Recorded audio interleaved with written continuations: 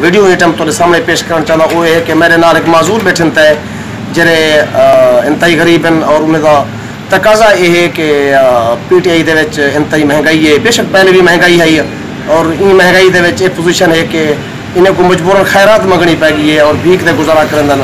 اور ان کا مطالبہ یہ ہے جو کئی طرح تے حکومت پی ٹی آئی دی جڑی ہے نا، یہ مہنگائی کو ختم کرے یا وقت اگر ناکام ہے تو استعفا دے دے۔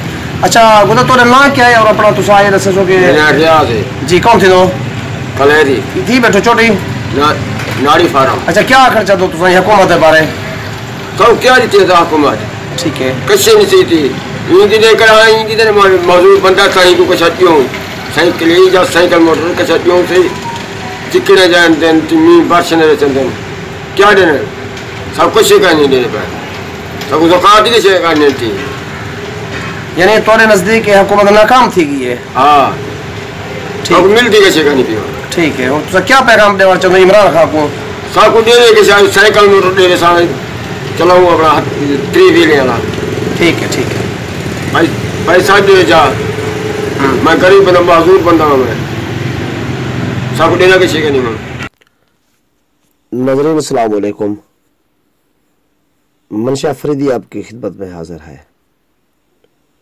ناظرین، قائد اعظم محمد علی جناح نے وطن عزیز پاکستان دے کر ہم پر احسان عظیم کیا۔ لیکن بعد میں جس طرح سے دستور پاکستان کو پامال کیا گیا، اس کی مثال نہیں ملتی۔ مخصوص سرمایہ دار اور جاگیردار طبقے نے اس ملک پر اپنا قبضہ کنفرم کیے رکھا۔ مفاد پرست اسٹیبلشمنٹ کرپٹ بیوروکریسی اور جاگیردار اور سرمایہ دار سیاستدانوں نے پاکستان کے وسائل کو بری طرح سے لوٹا، عوام کا شدید استحصال کیا، ایک عام آدمی کے قانون اور انصاف تک رسائی ناممکن بنا دی۔ تعلیم اور صحت جیسی بنیادی ضروریات سے شہریوں کو یکسر محروم کر دیا۔ ناظرین، اگر آپ اس وقت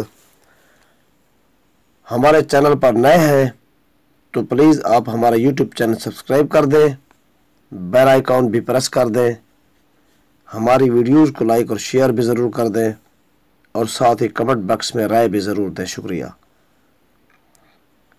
جیسا کہ آپ نے ڈیرہ غزی خان کے دور دراز علاقہ موزہ بکھروا کے رہائشی، دونوں ٹانگوں سے معذور، ریاض کلیری کا انٹرویو سنا۔ جس میں اس نے پی ٹی آئی کی حکومت کو ناکام قرار دیتے ہوئے اس حکومت کے استعفیٰ کا مطالبہ کر دیا۔ اس وقت ریاض کلیری حالات سے تنگ آ کر بھیک مانگنے پر مجبور ہو چکا ہے اور ایک بھکاری کا روپ دار چکا ہے۔